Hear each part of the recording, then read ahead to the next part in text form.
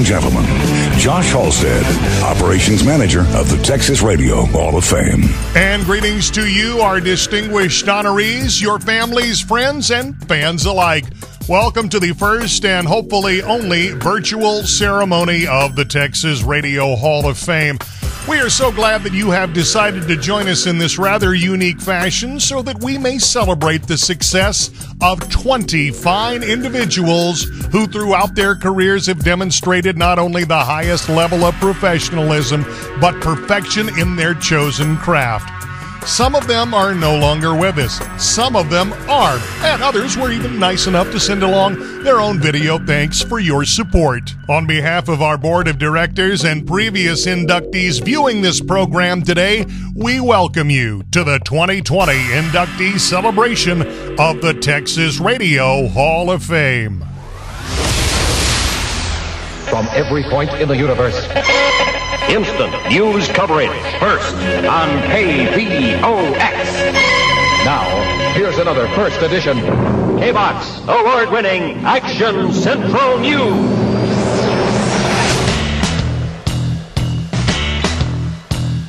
Why not start the program with good evening, folks, instead of saying, look at me, I'm fantastic. I want to tell you about Texas radio and the Big B. Oh, Baby, it's so great to be here with you tonight, man. And we go groove with you right here at the big XERF, man, from Del Rio, Texas. Wow, I'm gonna give you the noise. Candy 95 is Aggieland's only hit music station. hands from the most powerful rock station in North America. X-Rock 80. Amarillo's classic 101.9 Cat Country. Another broadcasting breakthrough on KILT. 508 KILT Wishing Star Time on the Rickshaw Show. Shut down away. I'll tell you about Texas radio and the Big B. 1340 K Love KRMD KGVT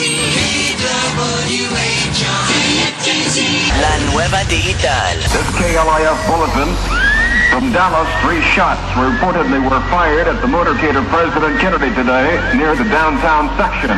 Dan Rather reporting. Well, I'm not a crook. It's still climbing. The shuttle is still climbing, but there is a problem. What's happening? Not a word from Mission Control. Everybody here is open mouth. What should you do when someone offers you drugs? KLIF presents Last Night. This is Barry K, man. I'm on top of everything. Charlie Van Dyke on the Mighty 1190 and the Big Switch is coming to Big Cliff. San Angelo's official rodeo radio station. Dave Mitchell on Saturday night. He got it. All around. No hitter number five. K99 plays the most George Strait. Hi, this is George Strait, and you're, li- and you're, li- and you're listening to continuous country favorites and fun. More of Austin's best country is coming up. Are, are you sure this microphone works? The Southeast Texas choice for today's best in most country. K-Y-K-R. Beaumont, Port Arthur, Orange.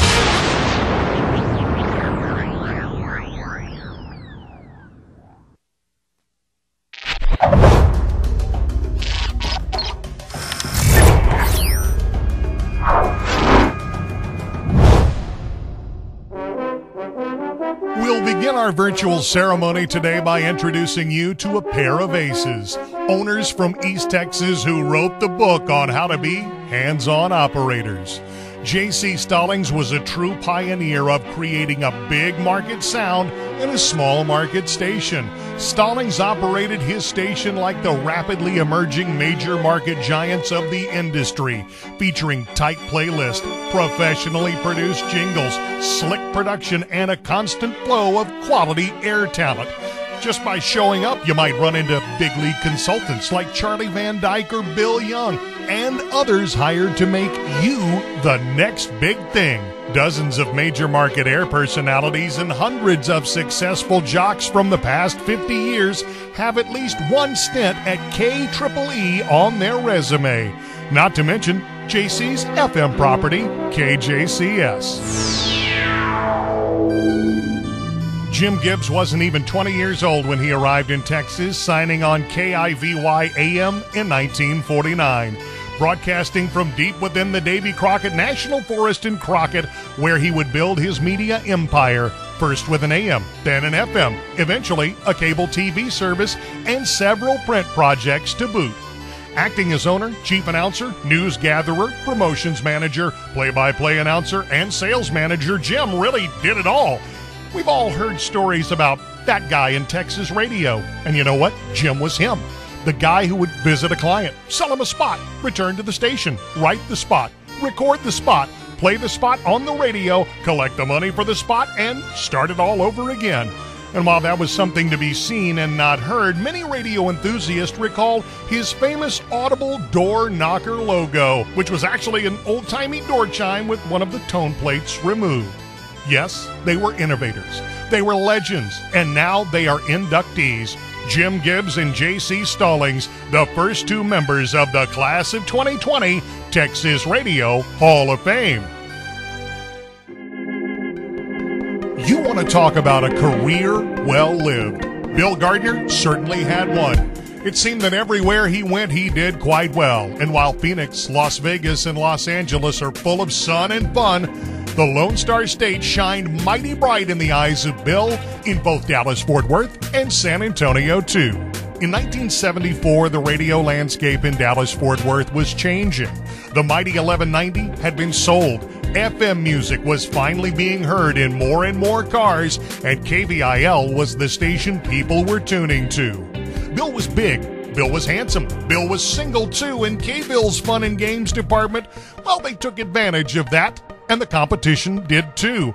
So just after a year or so, he was lured to the McClendon owned KNUS, where he took the reins of Morning Drive for KNews 99. While they could never duplicate the success of their former sister station KLIF, awards, accolades, and recognition from plenty of peers came Bill's way. And it wasn't long until broadcasters noticed that Bill had chops as a programmer too. So on he went to San Antonio and Class FM, where he was their morning guy and vice president of programming.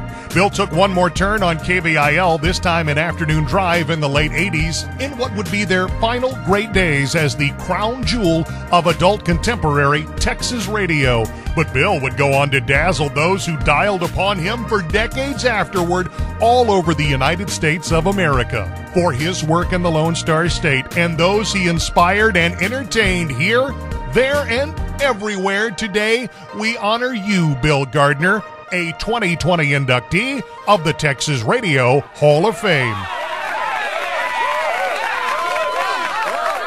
Hi, I'm Bill Gardner. I want to thank every balloting member of the Texas Radio Hall of Fame for voting me into the class of 2020. It's an honor, and I sure thank you for it. These days, you'll probably find me at our home here in Las Vegas, or maybe at www www.billgardnerontheradio.com. But back in these days, I was having some wonderful memories in the great state of Texas. I've had the opportunity to work for some of the very best stations between the Red River and the Rio Grande. In 1982, we launched KLLS, Class FM San Antonio, where I was Vice President of Programming and Morning Guy. I worked for the McClendons, K News, KNUS Dallas.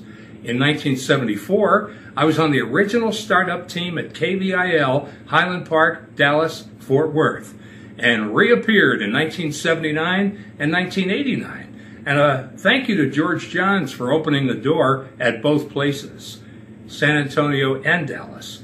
And thank you to Jack Shell for stuffing the ballot box so I could finally get into the Texas Radio Hall of Fame. I think this calls for a celebration. Bill Gardner in the Hall of Fame? How about a Shiner Bock? Here's to some great radio.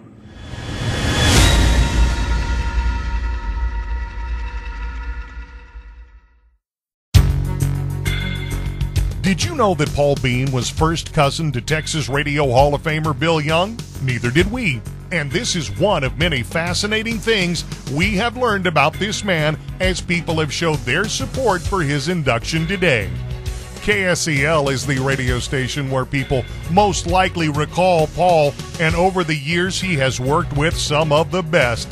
Like so many others, he started in the biz as a teen and he hit the cities big and small in what turned out to be a decades long career.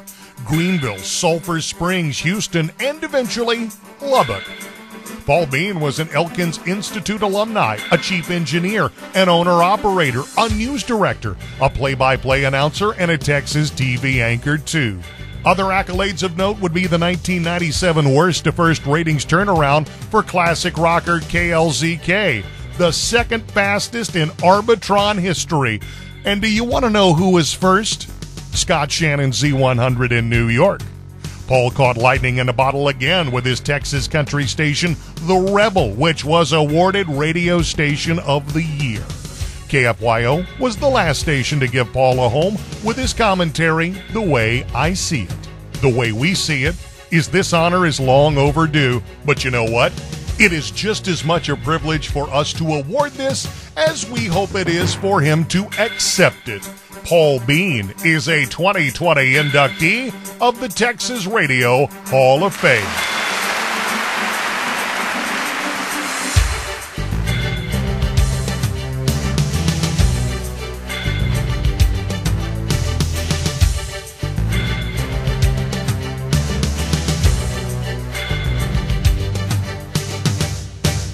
First of all, I guess thanks to everybody who voted for me. This is an incredible honor that I thought would never come.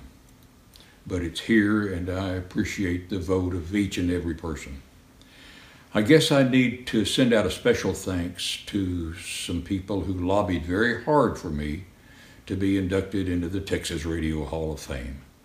Guys like Mike Wade and Glenn Ivy, uh, Robert Schneider at KFYO in Lubbock, Dave Walker, all of those guys work so very hard. In my radio career, I've been fortunate enough to work for three Radio Hall of Fame broadcasters, and they were all wonderful, and a fourth who one of these days I hope finds his way into the Hall of Fame. They're all gone now, but they were a great teacher for me in broadcasting. They were, of course, Gordon McClendon at KILT in Houston, Bill Bradford, Brad at KSST in Sulphur Springs, and the legendary Clint Formby, who not only is a member of the Texas Radio Hall of Fame, but a former member of the National Association of Broadcasters. He served as president.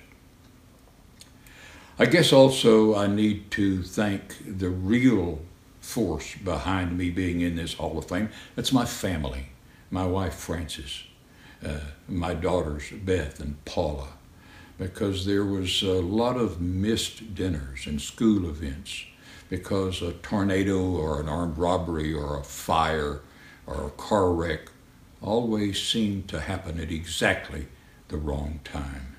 And I appreciate their patience for many, many years that allowed me to be a broadcaster, especially a newsman. Also, I'd like to send out a special thanks to my daughter Paula, who helped put this presentation together, and her husband Craig, because I have an early cell phone model. I think mine still runs on Steam. But I would like to thank them for making this presentation possible. Again, thank you very much for this honor. It's a great honor. I feel like sometimes it's not deserved but I'm not giving it back. Thank you very much. Mike Cannon just might have been one of the youngest radio DJs in Houston radio history. More on that in just a minute. He was bit by the bug at an early age, dabbling in shortwave and the Citizens Band, and even a mobile radio station, complete with an antenna mounted on the back of his bike. Armed with that knowledge, we can all assume what a hit he was with the ladies. In 1972, Mike was an avid fan of country KNER, which was taking on ratings leader KIKK AM. But the country radio landscape was about to change. Keener had more power, and they were about to go 24 hours, and Mike was intrigued at the on air appeal for new DJs. He sent them a couple of tapes in his work, and he was hired almost immediately. And over the next 11 years went from the lowest man on the totem pole to the production director for 1070 AM. He tried his hand in programming at KIKR in the North Houston suburb of Conroe and was the production director of KPRC in Houston before he found his home with the Houston Astros. He was their affiliates relations manager for 17 years. Afterward, he opened up his own production shop and he never gave much thought to working on the air again. But when we say Mike had a higher calling, we mean it. Mike was offered a job at the nation's premier contemporary Christian radio station, KSBJ, and he took it. Mike says the opportunity to use the talent God gave me for him is the icing on the cake of my radio journey. And since I started my career as one of the youngest DJs on the air in Houston, I might as well end it as one of the oldest. But let's hope it doesn't end anytime soon. For Mike Cannon, a 2020 inductee of the Texas Radio Hall of Fame.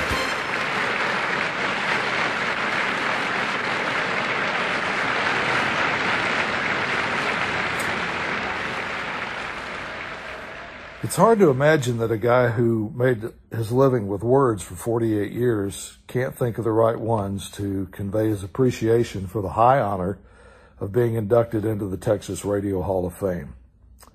All I can say is thank you. I'm humbled and grateful. Those words aren't strong enough, but they're all I got. I've been so blessed to have had great people around me all these years.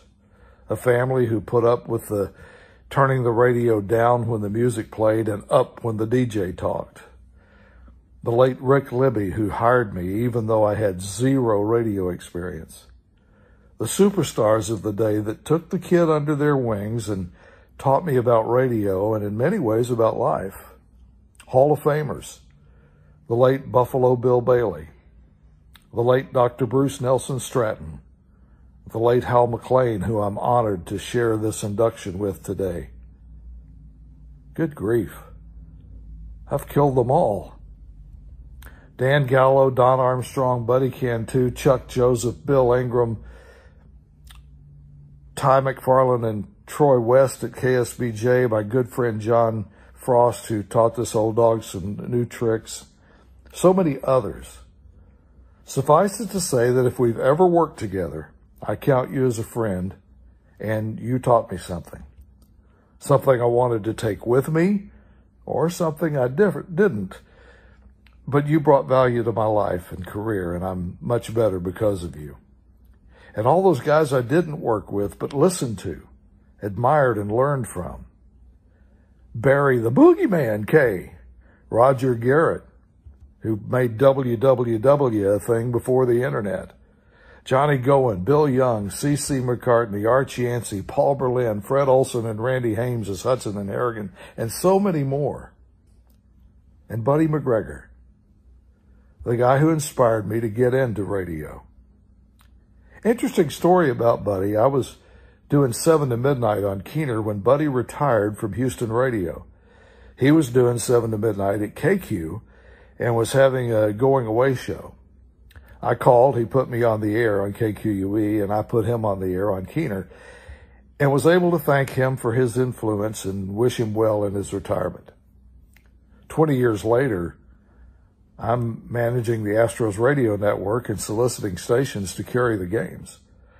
I call a station in Mineral Wells, Texas, asked to speak to the general manager.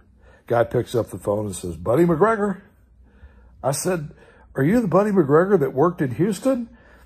He said yes, and I reminded him of our conversation and told him how I used to listen to him on K News when I was a kid. He laughed and said, What a coincidence, Mike. After I retired, I used to listen to you on Keener. I said, Are you serious? He said, No, but wouldn't that have made a great story? And it did. Thank you all again. May God bless you all real good. Cheers.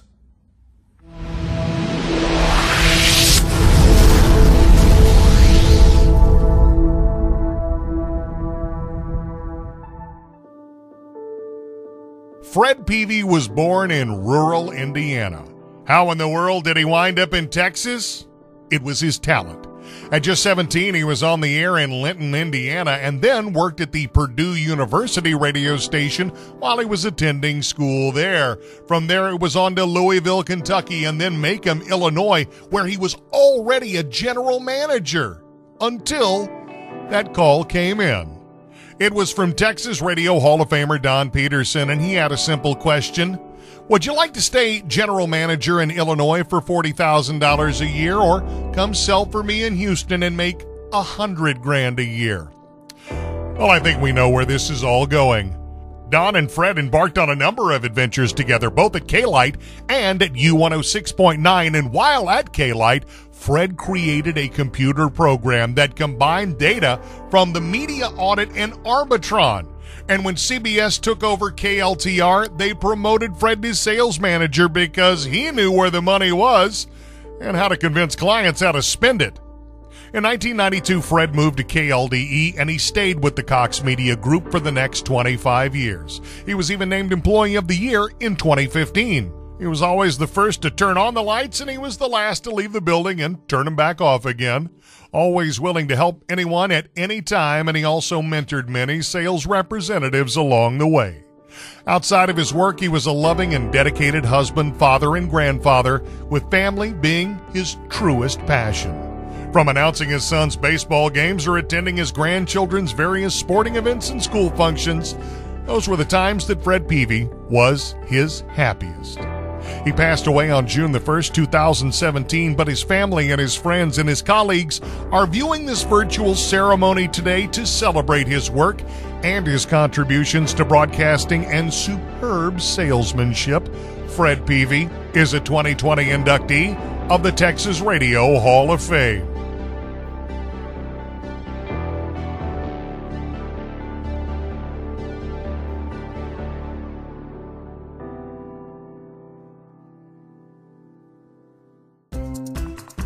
Gil Garcia is one of the more well rounded inductees this year, and no, we're not speaking of his waistline. Getting his start in Corpus Christi in the 1960s, he put the wattage in every beachside cottage on KZFM, KRYS, and KTOD. But Gil was rather unique because he knew every aspect of the console from the inside and the outside. And he made use of his time in Corpus Christi to study it all from the tip of the microphone to the top of the transmission tower and everything else an up and coming engineer ever needed to know. So when Lady Bird Johnson was looking for a new engineer in Austin, she called up Gil to get the job done. He's lived and worked around that region ever since, and it served him well. From KLBJ and KTBC, Gil gravitated back to the sexier side of the mic as the night jock on KNOW. Then it was on to electrifying adventures at Austin's Key 103 and Z102, and somewhere in between, became the owner of nearby Kerrville's KERV. But his defining career moment had to be when Clear Channel had an opening as an engineer in Austin. He must have liked them, and they must have really liked him, for he stayed with the company and what would eventually evolve into iHeartRadio for an astounding 35 years serving as the regional chief engineer and eventually overseeing operations in Nevada, Texas, Oklahoma, Louisiana, Colorado, Arizona, and Kansas. Oh, and in his spare time, he was also their disaster coordinator for the whole company.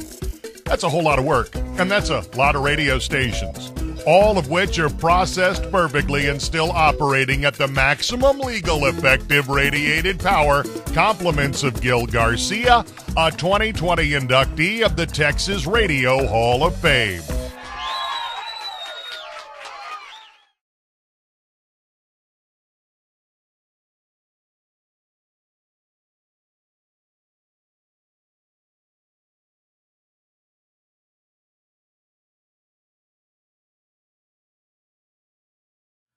Hello, everyone. I hope you and your families are doing well and are safe. I was shocked to find out that I was inducted into the Texas Radio Hall of Fame. It's a great honor to be with fellow broadcasters in this hall. Through my years, I've enjoyed the wonderful listeners and people in the broadcasting field. A radio station has so many incredible people working and loving it. So if I win any awards, it is also due to those of you in these jobs that help me become a better person in what I do and helping others in what they do. The first time I got in front of a microphone, I commented to myself, they're actually paying me to do this for something I love. I would have done it for nothing. I like to thank everyone individually by name, but that would take too long and I might hurt someone's feelings by forgetting them. So, you know who you are. And thank you, my friends, from the bottom of my heart. I'm truly blessed by God and by you. I do want to thank my wonderful wife, Marianne. I love you, honey, and thank you for standing by me all these years. I think our spouses and families should be getting awards for those times that some of us had to work odd hours to keep a station on the air. Thanks to my two wonderful sons, Mark and John, and my daughter in laws, who are always ready to give their mom and dad a helping hand. And then there's my blessed daughter, Emily K. Garcia. Bless her heart and spirit, who at the end of my career gave me a new inspiration for those coming up in radio. Unfortunately, she passed away three years ago at the age of 30. She too had the radio bug as I do, and for a short time was on the air every morning with Bob Cole and the gang at KOK FM in Austin. She loved every minute of being with them and, like me, the excitement of a radio show. I know she'd be smiling at me now and is proud of her dad. I know my dad would be proud of me, along with my mother, my sisters, my relatives, and my in laws. For me, it's been an incredible journey of memories in the life of radio with all the wonderful people I met along the way. God gives you the gift of life. What you do with it is up to you. Thanks again, everyone, for this great honor of being inducted into the Texas Radio Hall of Fame. Bye.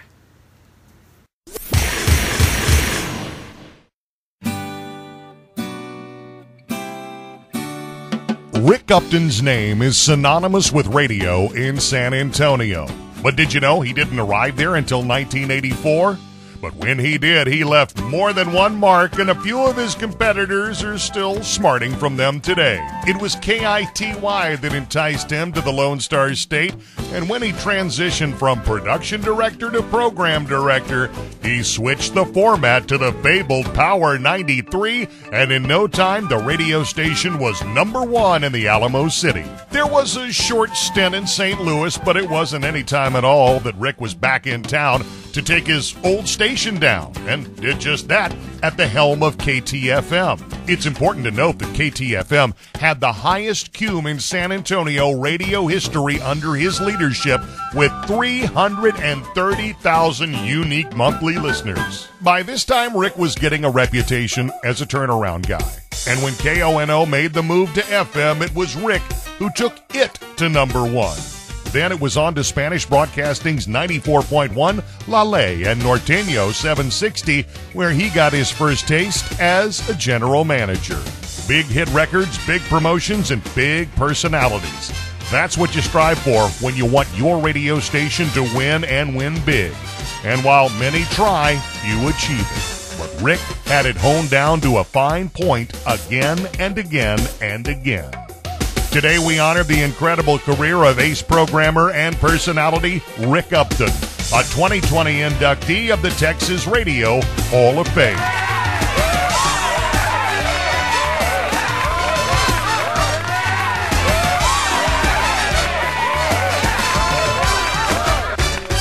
Thank you, whomever. Too many people to thank.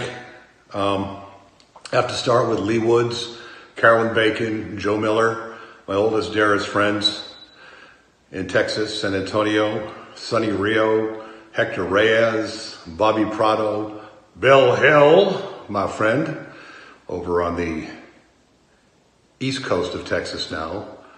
Um, Jack Roth, John Barger, just to name a few, my friends at Spanish Radio. Um, I hope I didn't leave anybody out, but thank you. This is truly an amazing honor uh, to have bestowed, and I'd like to thank all the people uh, that supported me along the way. My uh, partner in crime, the late Rick the Stick Morales, he deserves to be in this um, Hall of Fame uh, as much as anybody does. So once again, uh, I told you I'd keep it short. Well, you told me to keep it short, and I did. Um, thank you very much. Much appreciated. I'm going to go put my pants on now. Bye bye. Lots of personalities like to throw around the fact that they are an institution. Well, just because you may have made a living in the same city for a lot of years, a legend does not that you make. But it most certainly does when we're talking Ralph Cooper. Ralph's good work has been heard in Houston for years, first on KYOK, then on KCOH. It's been read in the Houston Defender and seen for years on KTRK Channel 13. But make no mistake, Ralph Cooper's sports wrap on KCOH is the last word on sports in Houston. Not only did the town know it, the athletes did too. Ralph is on a first name basis with most every influential Houston Astro, Rocket, Texan, and Oiler. Satchel Paige, Roberto Clemente, and Muhammad Ali all called him friend, and if I can directly quote the Great Houston Post, you don't have to know the difference between a pigskin and a softball to enjoy Ralph Cooper's sports wrap. Listening to Cooper's a vernacular tone and delivery matched with a quick wit, you'll soak up some real Houston history. You know, it's often said that there is no personality bigger than the radio station they work for. And in most cases, that's true. But even when the KCOH call letters and its legendary 1430 signal separated, fan demand insisted that Ralph and his friends' voices be heard and that sports wrap had a place on the radio. He and it still do. And with the mighty KCOH call letters still behind him on the radio and online too. Ralph is a huge supporter of local high school and college athletes and an inspiration to young broadcasters throughout the area and around the nation. He's a mentor, he's a leader, and today officially a 2020 inductee of the Texas Radio Hall of Fame.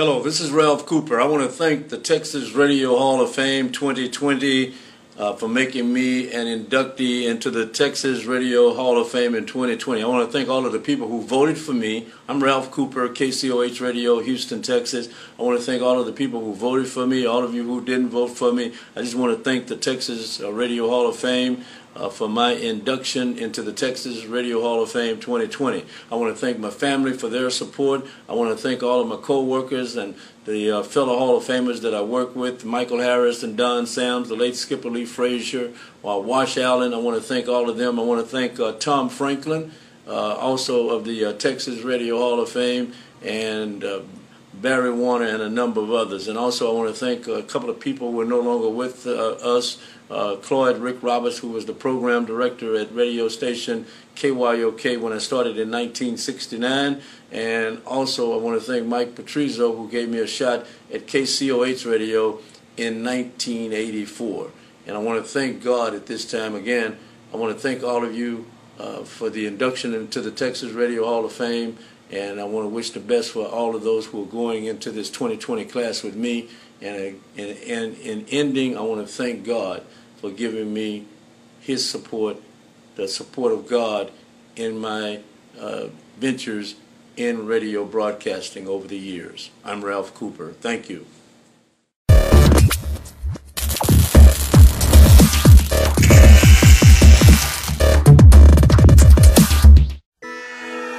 The road that Neal Talmadge took to radio was a rough one. Why? Because it started in newspaper ad sales. But after just two years pounding the pavement, the sexy allure of radio lured him to 97 Rock, where in just a year or so he was runner up for Account Executive of the Year from the AWRT. KKBQ Zoo hired him away, but he didn't stay, instead, making the move later that year to KTRH, and it's safe to say it was there where he found his calling. And when you can combine what you love with what you do, happiness is almost guaranteed. Neal was so good at selling Houston Rockets pregame and postgame ads, the Rockets made him their director of broadcasting. When the Houston Aeros hockey team wanted to really ramp things up, they hired Neal. All this time, Neal was honing his craft of marketing partnerships, naming rights, and broader visions for brands and businesses. And if you ever wondered Just who was the point person when the summit became the Compaq Center? That was Neal Talmadge. And it was the same thing with the GalleryFurniture.com Bowl 2. When the NFL franchise we know and love called the Houston Texans showed up in Space City, it was CBS Radio that secured the rights to broadcast the games, develop a network, and hopefully make a little something off their 10 year, 70 plus million dollar deal. Neal was the answer. From there, he took a break from radio, but not from broadcasting, to work with ISP Sports and the University of Houston as their general manager. He would then be the GM of All Sports 1560 The Game in Houston and even be a part of the launch of the first all news FM in Houston, News 92.1, where he would win the Radio 1 President's Club Award. If you ever meet him, you're gonna love him. He's the perfect balance of humor and humility and a heavy handed scoop of happiness to boot. Join me as we congratulate him today, Neal Talmadge, a 2020 inductee of the Texas Radio Hall of Fame.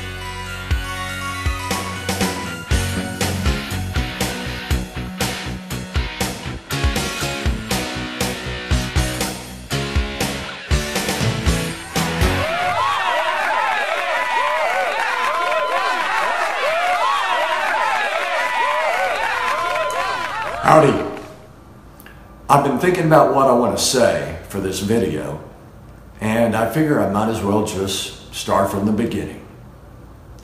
Many, many years ago, I helped start a singing telegram service in Houston. And although I sang to several celebrities like John Travolta, Rock Hudson, Marie Osmond, the one telegram that I'll always remember was delivered to a secretary in the sales department of the old Houston Post newspaper.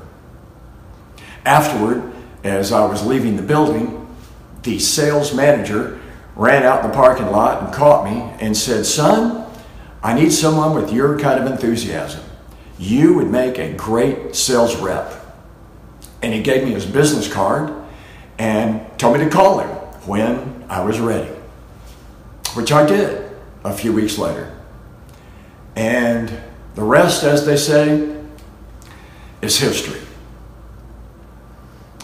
And I feel very blessed to have made it all the way from there to here. And I'd like to thank a few people who had faith in me along the way. Steve Patterson, Laura Morris, Bob McKay. I'd also like to thank Nick Peterson, who nominated me for this award.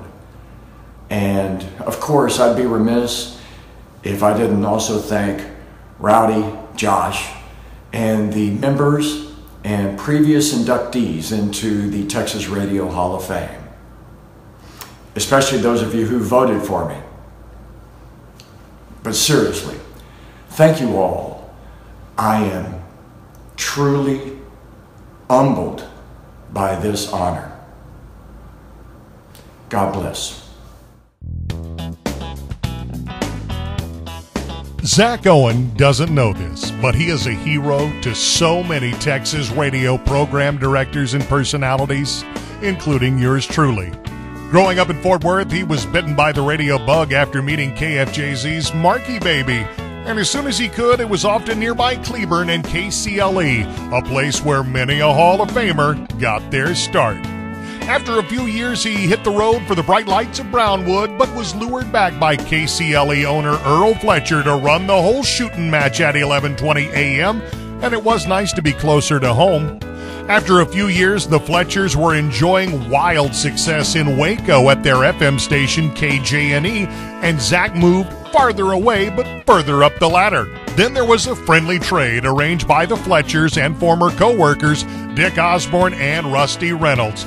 It was then that Zack wrote the book on how to drum up double digit ratings at Keene and Abilene and then at Kicks and Longview. Now, there was that one year he wound up in Birmingham, Alabama, but back home to Texas it was in 1992. And Waco 100 has been the number one station in Central Texas ever since. Zack is a survivor, and he still loves what he does, and he's still at Waco 100 as their morning man, program director, and the iHeart Senior Vice President of Programming for the Central Texas region. As this virtual ceremony plays before him and his friends and family, I imagine it's with a good cigar in one hand and a glass of scotch on the rocks in the other, as it should be for my friend Zack Owen, a 2020 inductee of the Texas Radio Hall of Fame. Hey, thank you so very much to Josh and the crew at the Texas Radio Hall of Fame. It's truly an honor and a privilege to be inducted uh, this year. Also, congratulations to the fellow inductees. Uh, good job. Hey, I want to say thanks to my mom and dad. I wish they were still alive. My mom actually would drive me out to the west side of Fort Worth to KTVT Channel 11 TV, and I'd watch a young Marky baby, Mark Stevens, do his thing, and I wanted to be just like him. 43 years in the business. It's kind of crazy to think it's been that long. And people say, Do you love your job? Man, I love my job. Every morning getting up early and getting in. Thanks to my partner, Jim Cody almost 28 years together at Waco 100. I appreciate you so very much. You, you mean so much to me.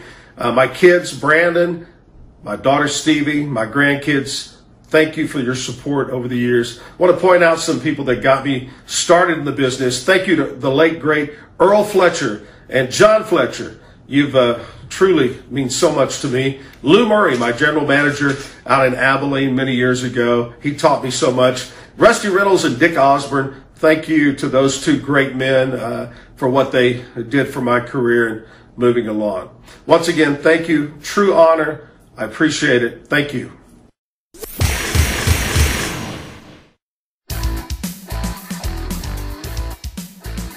Pam Kehoe graduated from SFA in 1985 with a bachelor's degree in business administration. One wonders if she even knew it would be show business. With a diploma in hand, she headed home to Houston, and there she joined Juggernaut 50,000 watt KTRH as their director of marketing and promotions, a job she had for 14 years. When Cox Radio decided to play in the top 10 markets, they saw what Pam had to offer and lured her away. But after just one year, the band got back together. CBS Radio in Houston had made some management changes at the top, and that provided for a KTRH type reunion. Laura Morris, Bill Van Rysdam, Clint Wright, and others, including fellow inductee Neal Talmadge, all took positions within that cluster that at the time had two FMs, two AMs, and the newly formed Houston Texans radio network. She brought her experience to print media, where she led marketing and online efforts for the Houston Chronicle and the Green Sheet. And since 2018, Pam Kehoe has been a part of the University of Houston's athletic department as Associate Athletic Director for Marketing and Fan Engagement. We'd like to also point out that we are aware of at least 19 prestigious awards that Pam has received in her career from groups like the AWRT, the TAB, the CRB, and the Houston Air Awards, to name a few. As she views this virtual ceremony today, surrounded by friends, family, and a ton of colleagues, we all agree this accolade is richly deserved. Kindly join me in congratulating my friend Pam Kehoe, a 2020 inductee of the Texas Radio Hall of Fame.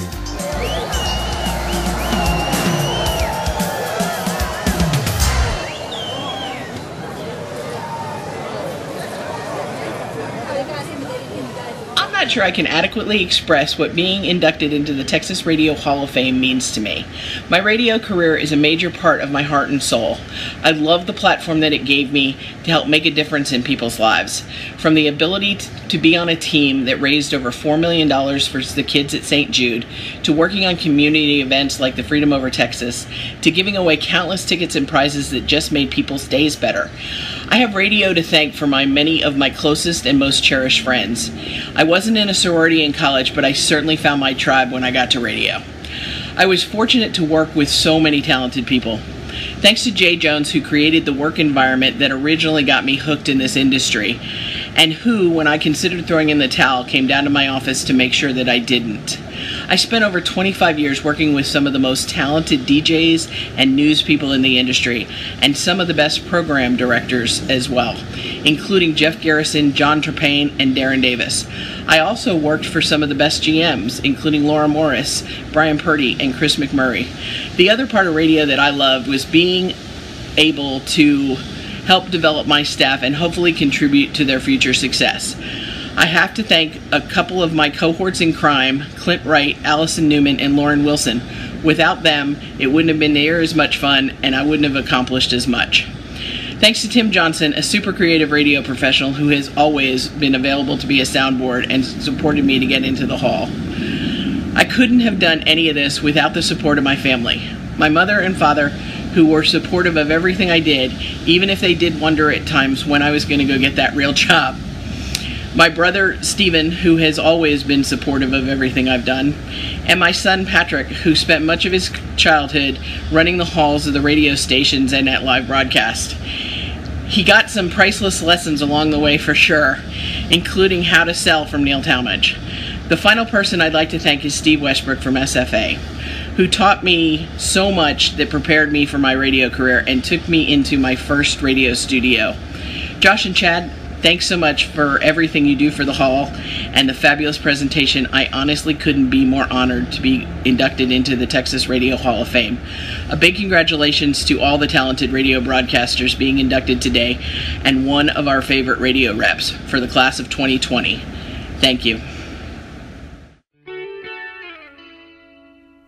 Long before Keene was in Abilene, the KEAN call letters were located in Brownwood, and they belonged to the radio station where Kerry Alford got his start.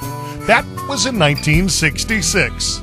Somewhere along the way, like many DJs of the day, he changed his name to Jimmy Stewart, and the state of Texas would fall in love with him and his voice. In 1971, he made the trek to Cowtown's KXOL, where he worked as a news reporter, but for just a little while. They asked him to leave, and it probably was the best thing that could have ever happened to his career. Jimmy left West 7th Street for 50,000 watts of fun on Broadcast Hill at WBAP, and with the exception of a brief pit stop across the hall at sister station KSCS, Jimmy Stewart would be a mainstay at 8:20 a.m. through the duration of WBAP's days as a full-service country radio station and continue to make contributions to their news talk format for years after that. While he wasn't playing the tunes any longer, his voice was still heard as a part of the award winning ratings juggernaut Sports at 6 with Randy Galloway.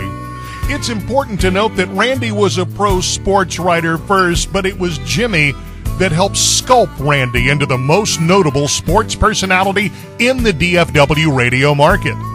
Jimmy was voted Best Voice in Morning Radio by the readers of D Magazine, and believe me, once you heard it, you never forgot it.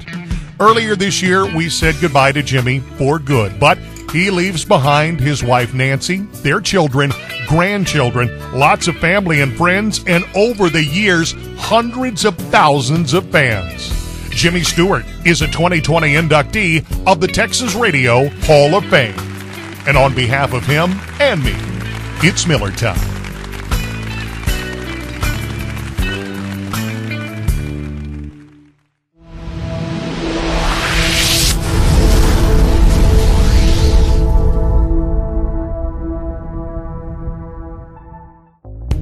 For years, Texas Radio Hall of Fame board member Mike Shannon lobbied for an award for Journeyman Broadcaster.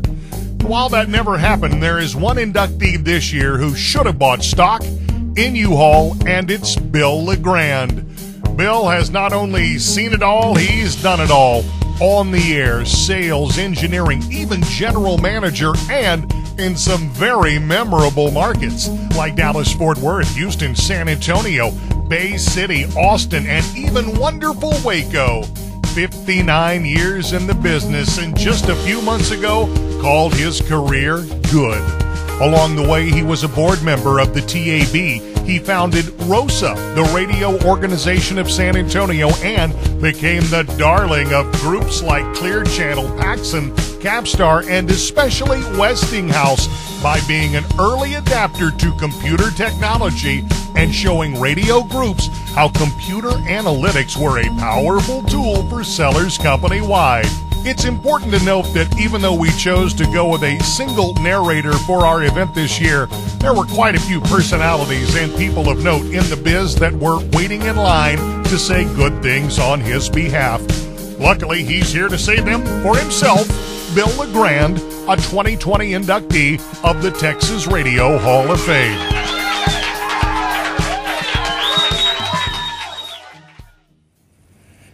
Thank you very much and good evening. A while back, I started branding myself as the old radio guy for obvious reasons, and I'm here tonight. Got my old radio guy tie on, my favorite old radio, this 1930s era Zenith, and I have two things in common. First of all, we're both really old, and second of all, we pretty much still work in radio. When I first heard about this induction, I looked at the list of previous inductees, and it was a bit intimidating to say the least. I told my wife that I'm not sure I belong in the same room with these folks, and sure enough, here it is, induction night, and I'm not in the same room with them. These are legends in the business, people that I've known about, respected, listened to, admired. Some of them I've worked with. I've hired a couple of them along the way, been hired by a couple of more, and on occasion was even fired by a couple of them. It wasn't personal, it's just the nature of the business. Because when you're making your number, everything's okay, and when you're not making your number, nothing you do is okay. So the best thing to do, I was told, was just keep your head down and sell spots, and I've sold a bunch of them. I'd like to thank everyone who voted for me. I'd like to thank my daughter Becky in particular, who nominated me and then worked really hard to make this happen for me. My family, my wife Vi of 53 years, who stuck with me through a lot of ups and downs and packing and unpacking. My new wife and life partner, Marty, whose love and support have made it possible for me to continue to work in this great business for the past few years. Both my great kids, Bill and Becky, and all of the friends and mentors and co workers that I've met and worked with along the way. And finally, I'd like to thank God and the great state of Texas. God for giving me this mixed blessing of this horrible disease that started uh, eroding my vision when I was just a teenage kid and the great state of Texas for recognizing the problem and stepping up and providing me with the training and education that opened the door of opportunity to this wonderful business I call radio. And finally, I'd like to thank heavens that I don't have to be at the mercy of Arbitron any longer. In the words of Ben Johnson at the 1973 Oscars acceptance speech, thank you very much. Couldn't happen to a nicer feller. Chris Arnold has been a radio and television favorite in the DFW area for more than 40 years. After he graduated from the University of Oklahoma in 1980, he was hired at KKDA FM. That's K104 as sports director. He was heard every morning with fly jock Tom Joyner and a part of the Skip Murphy and Company morning show. Chris worked at KKDA for 30 years.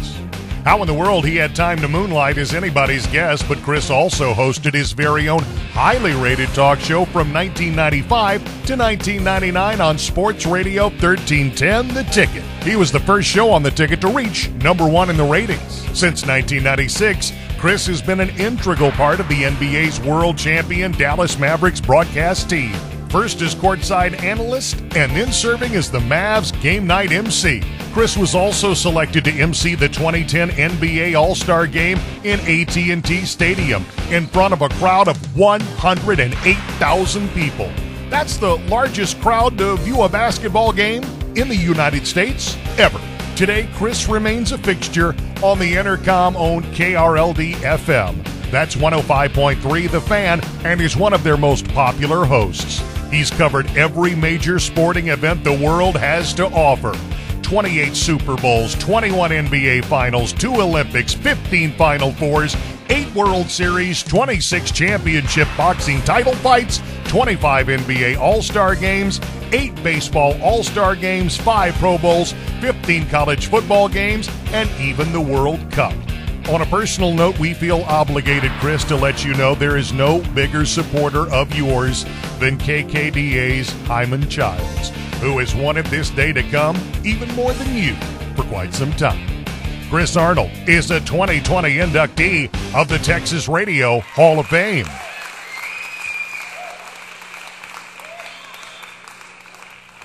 This is amazing. I'm so proud and honored to be a part of the class of 2020, the Texas Radio Hall of Fame. I never could have imagined it. I want to thank everyone who voted me in, all of my peers. I can't thank you enough. It's quite a surprise. I've been in radio for 47 years. I started in Memphis, Tennessee at the age of 14 at WLOK Radio. I've been in radio for 47 consecutive years. I have never not been on the radio. That's most of my life. I started in Dallas at K104 Radio. I got to thank Hyman Childs, the owner, and the late great Chuck Smith, the operations manager and general manager. They allowed me to have an interesting life. They let me cover the world of sports, and I mean the entire world. I covered Super Bowls, NBA Finals, NBA All-Star Games, Final Fours, World Series, Baseball All-Star Games, the Pro Bowl. I covered Stanley Cup Finals, uh, the Olympics, the World Cup championship boxing matches, college football, Cowboys, Mavericks, Rangers, Stars, you name it. I covered it all thanks to them. So I've been in Dallas for four decades and I've had the pleasure to work at three different radio stations and been a part of four shows that went to number one in a major market that's almost unheard of. Starting with the Tom Joyner Show. Tom, I can't thank you enough. Then there was Skip Murphy and Company. Skip Murphy, Nana Lee, Sam Putney, and The Wig. You guys are my crew. We made history. At the ticket, Mike Rhyner, thank you for hiring me. And Corby Davidson, you're my boy. We made the Chris Arnold Show number one for five consecutive years. Then at 105.3 the fan, where I've been and I still am. Gavin Spittle, thank you for everything. We took the G-Bag Nation to number one. That's Gavin Dawson, Lucius Alexander, Jeff Kavanaugh, Mike Bacsik, Thank y'all very, very much. I got to thank my family, my wife Pamela, my three kids, Sanaya, Cameron, and Alex. Of course, my mom and dad, my sisters, both sides of the family, all of my friends for putting up with me. And again, I can't say this enough. I have to thank the listeners. If it weren't for the listeners, I would not have had a job. I am here because of them. I appreciate them. And as I would say at the end of my show, there's no me without you. That being said, this is the epitome, the Texas Radio Hall of Fame. There's nothing left to do but drop the mic and say, ooh wee, got you down. Blanquita Walsh had her heart set on a fine arts degree from the University of Texas. But there was a life hurdle that got in the way. Her father died unexpectedly, so it was back home to San Antonio where she got a job as a studio artist at TV station KLRN. A copywriting job opened up at K-Buck Radio, and with that move came a name change to BQ. The owner of the radio station thought Blanquita was a $25 handle, certainly not a name you'd ever see on a belt buckle. So just when she was getting used to BQ, opportunity knocked again. And it was KITE that offered her a huge opportunity. But it came with another name change. But half the billing on the Tom and Tony show was something she'd have to settle with. Blanquita soloed her very own morning show on KSJL and made some memorable radio with Hall of Famer Bruce Hathaway on 55 KTSA. She even came full circle with Bruce on the No Bull Network just a few years ago. From Texas, she traveled to our nation's capital where Blanquita worked for three presidents. She had a syndicated program on Radio America Network and appeared on television shows on CNN, Fox News, MSNBC, and the BBC. BQ is the annual host of the Memorial Day Parade in Washington, D.C. Her work has garnered multiple commendations and awards, including being named one of the top 25 talk hosts in the country by USA Today. But she never cut her ties with Texas and now co hosts a weekend online program called Lone Star Saturday with renowned San Antonio broadcasting legend Gary DeLaune and her daily radio show, The Hard Question, can now be heard on WCGO on the Smart Talk Network. There's only one named award in the history of this organization, and each year it is given to the most exceptionally qualified candidates submitted. Admittedly, that's a pretty crowded field. But this year's Sammy Award goes to Blanquita Cullum, a 2020 inductee of the Texas Radio Hall of Fame.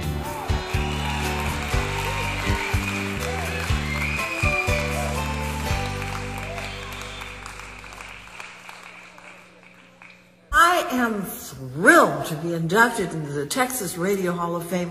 Thank you so much. And to receive the prestigious Sammy Award for trailblazing for women in the industry, well, hey, it only took me 40 plus years to get there, and you can't quite see the machete behind my back right now because the trailblazing continues. I want to send a great big hug and lots of love to Lee Woods, Sonny Rio, Hector Reyes, and of course to you, Josh Halstead, for what you've done all these years, for honoring our colleagues in the industry. You're making a difference. You've made a difference, and good luck on your new journey. Now, meanwhile, I want to thank my daughter, Blanquita Sullivan, my son-in-law, Mike, my granddaughters, Eloise, Eva, and Amelie, and my wonderful son, who's also in the business. He's a journalist and his beautiful son, Henry James Cullum. To all of you, much, much love. But remember this. Oh, and by the way, you've seen the guy behind my shoulder here, George. Well, we're on a mission here. I can't quite tell you what it is. It's quite undercover. But I am encouraging all your big, beautiful Texas voices, whether you're in news or music or whatever it is, rock and roll. Remember, the freedom of speech depends upon the guidance from the Lone Star State. So with that, I send you my heartfelt thanks and know I appreciate it more than you'll ever imagine. And uh, say goodnight, George. There are plenty of radio personalities that are pilots, but a world renowned, award winning stunt pilot? There can only be one, and that was Hal McClain. His love for radio began as a teen as a ham operator in Shepherd, Texas. And even though life brought him to other locales like California and New Mexico, radio never left him. Like so many others, it was small towns like Cleveland and Conroe and Jasper where he cut his teeth. But once you heard Hal, you knew he was eventually big city bound.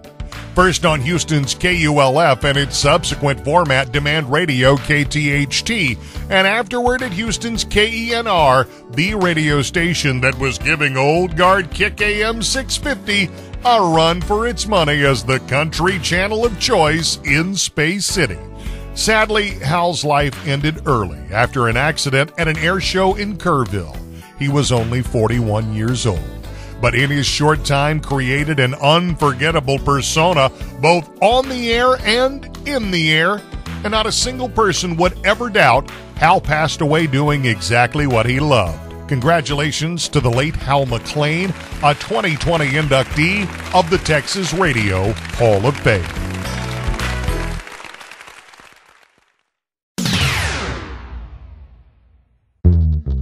Bama Brown has been an Austin mainstay for more than three decades. And for some of us that heard his earliest work on KPEZ's weekend graveyard shift, well, we had our doubts. But you know who did have an ear for talent, even in its rawest form? Z102 General Manager and Texas Radio Hall of Famer Stan Webb, who took his Magnificent Seven McLendon training and put Bama Brown on a course to become a crowned audio jewel of the state capital.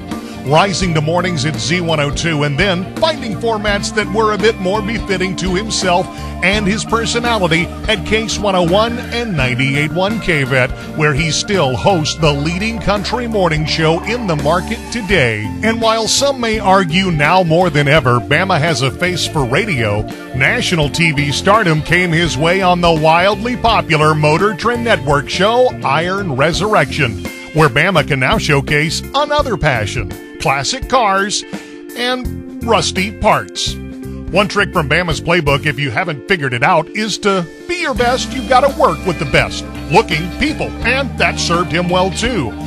It really has been a joy to get to know this man since the good news came his way, and I hope that you get the time to know and love him the way his family and his community do as well. Bama Brown of Dripping Springs, Texas is a 2020 inductee of the Texas Radio Hall of Fame.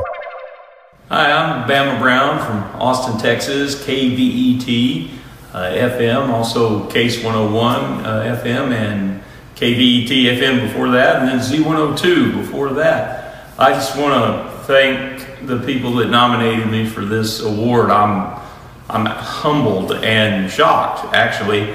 Um, I understand it came from some of my competitors, so that you can't have a bigger compliment than that. Uh, to be in an organization, in a club uh, with Walter Cronkite and Dan Rather and, and Wolfman Jack, you know, all, all heroes of mine.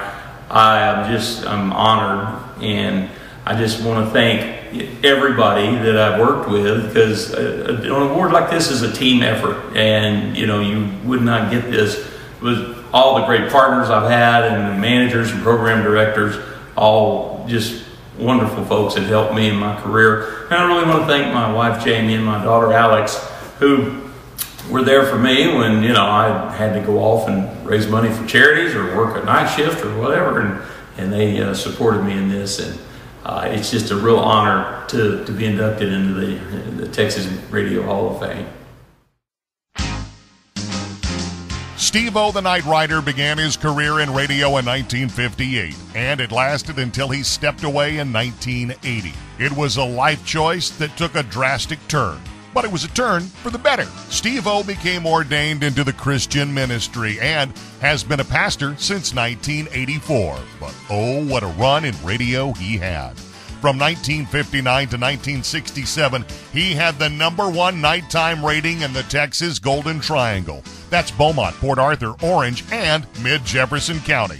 From 1959 to 1961 at KPAC, 1961 to 1964 at KOLE, from 1964 to 1965 at KAYC, from 1966 to 1967 at KLVI in Beaumont, where he shared a microphone with my dad, Joe Halstead. So you might be asking, why so many stations? Well, audience participation could have been the culprit, as Steve O did like to have in studio guests, and a few of them eventually became guest of note. Jimmy Johnson, coach of the Dallas Cowboys, and a would be singer by the name of Janis Joplin. Today, most of his time is gladly spent with Benny, his wife of 54 years, their three daughters and their sons in laws, and we can't forget their seven grandchildren and one great grandchild. Oh, it is a great life, and a good chunk of it because of his golden voice in the Golden Triangle during a golden era. Steve O'Donohoe is a 2020 inductee of the Texas Radio Hall of Fame.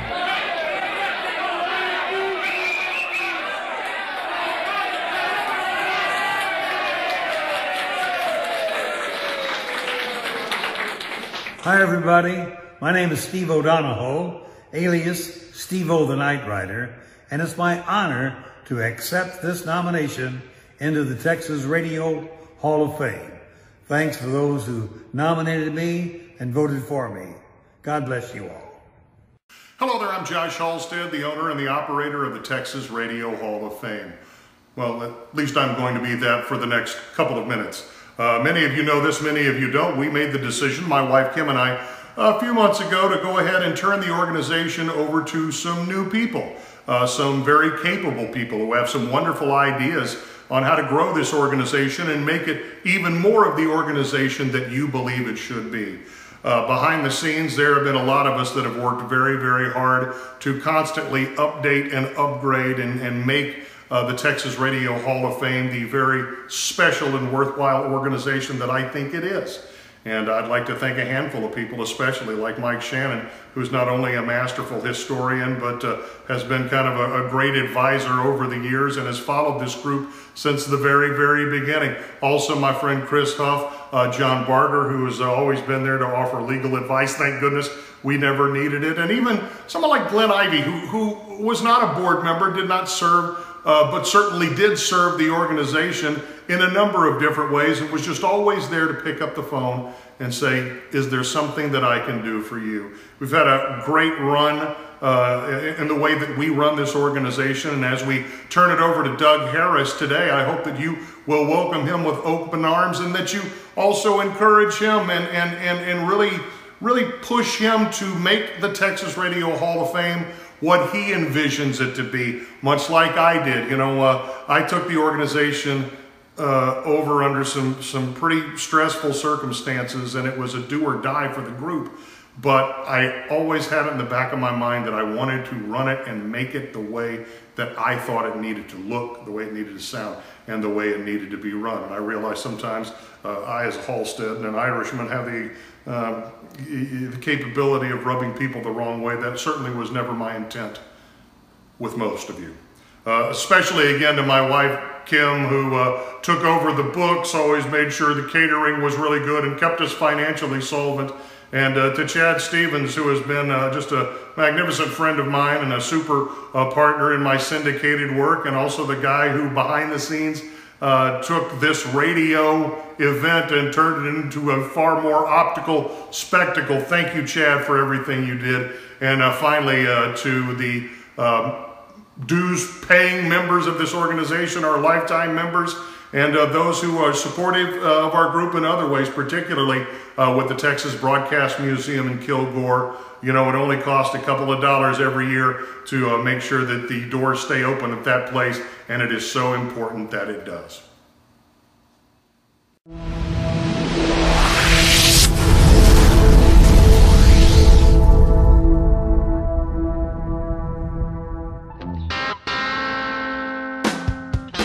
At first glance, it seems that Greg Sax has worked at more record labels than he did radio stations.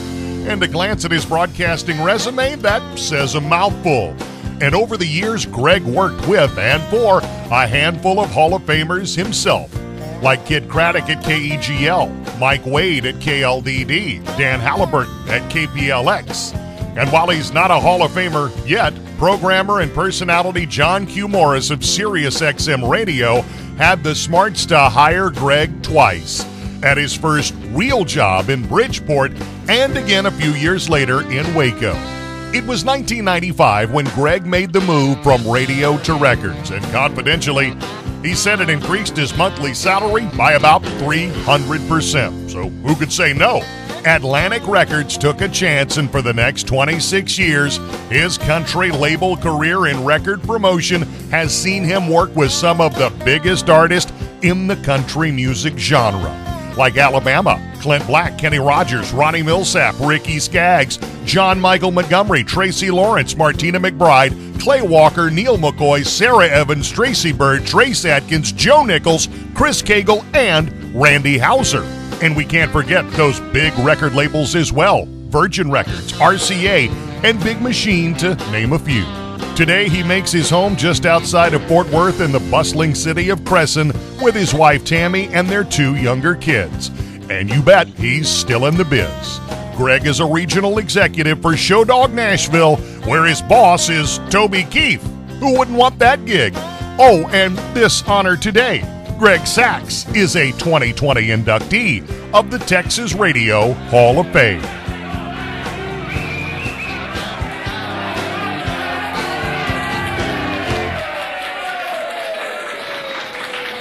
I'm so blessed and honored to be inducted to the Texas Radio Hall of Fame. Thank you, Josh Halstead and the board. I'm so amazed that I didn't know you got a trophy with this. This is amazing. I'll never let my children hold this or see this or in their entire lives, they won't be able to have anything to do with this trophy. Thank you to my Lord and Savior Jesus Christ. I'm thankful for my family, for my beautiful wife Tammy, for my sons Ethan, Jordan, Dylan, and Tristan, for my dad and my mom. My mom who said she couldn't wait for me to be on the radio so she could turn me off. Trapper John, I'm not going to forget you. Trapper, thank you for this. We worked together at KNTU in Denton at the University of North Texas. And then you hired me for my first commercial radio job at KWCS in Bridgeport and at Waco 100. Two times you hired me. Waco 100. Zack Owen, you're going in the Hall of Fame. Zack, look, I got a trophy for you right here, Zack. Congratulations, Zack Owen. Also, K-Plex in Dallas, Dan Halliburton. Dan, Thank you for my trophy. K-Plex in Dallas. I loved working there with you, Dan. Also, the Eagle in Dallas. Hall of Famer Kidd Kraddick and Michael Blake and Joel Folger. Guys, do you remember when you gave me that trophy? It was so amazing. Thank you so much for my years there. I also am thankful for all those years in the record business. So many people to thank in the record business. So little time. I'll just say, Toby Keith, 15 years with you has been amazing. How do you like me now, guys? 15 years with Toby. Let's do 15 more, Toby. Thank you to TK Kimbrell and the staff. Thank you to Scott Borchetta for hiring me and Rick Moxley for inspiring me. Remember this, dream big dreams because dreams do come true. I'm a living example of that, y'all. Five reasons or five words. Texas Radio Hall of Fame, Greg Sax. Thank you so much. I love you all.